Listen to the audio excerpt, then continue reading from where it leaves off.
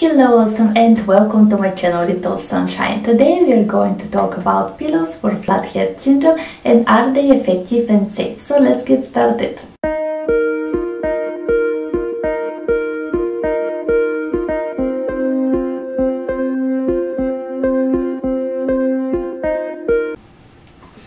Hello, hello and welcome to my channel Little Sunshine. My name is Eva and I'm currently a stay-at-home mom of a handsome boy named Daniel.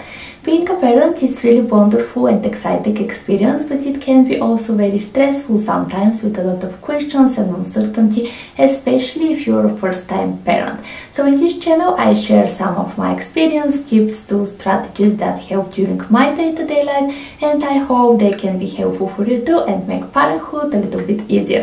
So if this sounds like something you're into, please consider subscribing to my channel. Today we are going to talk about pillows for flathead syndrome and are they actually effective and what's more important are they safe. And I decided to bring up this topic because there are many positional pillows that have been marketing to help with flathead syndrome and they are often considered as one of the cheapest and most readily available option for prevention or correction. But have you ever wondered, um, are those pillows actually effective and are they safe? And my quick answer will be no. And you know, I'm not a doctor, neither a professional. I'm just a parent like you and this is everything outlined in this video is just my personal experience and opinion. But here are my reasons why. Those type of pillows contravenes with the safety guidelines issued by the National Safety Service and by the Safe to Sleep guidelines from the American Department of Health. They both recommend that babies should always sleep on their backs on flat firm surface with no Uh, uh, blankets, duvets, quilts, bedrolls or any other type of props or pillows including flathead pillows.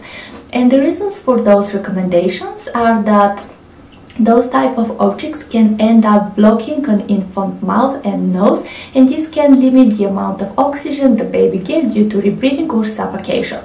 I know that there are some pillows that have been ad advertised to be produced from breathing materials and their producers state that uh, even if baby face ends up toward uh, those pillows they will still be able to breathe but I wasn't able to find any scientific uh, proofs or any actual researches that support those states and in actuality those type of pillows are inconsistent with the safe to sleep guidelines if you're curious to find more safety details on various type of products, you can do this on the Consumer Product Safety Commission and I will put a link to their website underneath this video.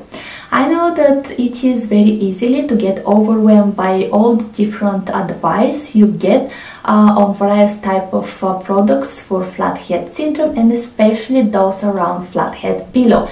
But in the end, our top priority as parents is our children's safety and the safety concerns around those pillows far overweighted their potential benefits. And so if you still like to use one of those pillows, what you can do is you can use it for your baby day naps while you're awake and you're able to observe your baby. And this is actually what I did with my son Daniel. For those of you who haven't had the chance to watch my previous videos, um, uh, my son had severe deformation in his head and he wore two Doc Bands in order to correct those deformations. And when we first noticed the changes, uh, he was about a month and a half or two and at that time I did purchase one of those pillows and use it for uh, some time, some period of time but to be honest I didn't really uh, find it to make any difference. And you know it could be just our experience but I just consider that there are some other tools that are much more effective and safe.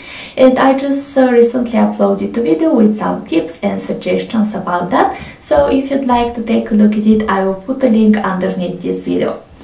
And so whatever you decide to do I hope you see the results you hope for but even if you don't by the time your baby is 4 to 6 months of age remember that helmet or Doc Band therapy is still an option.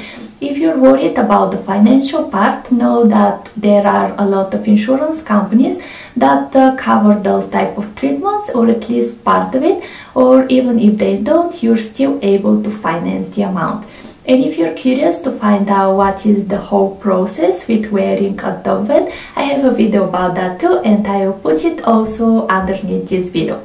Alright, so this is everything for today. I hope this video was helpful for you. If you have any questions or comments, you can put them underneath the video. And if you need some more support, you can join my Facebook group, which is Little Sunshine. And if you would like to follow me, you can do this on my Instagram, which is 2020.little.sunshine. Thank you for watching. Have a great day and I'll see you soon. Bye!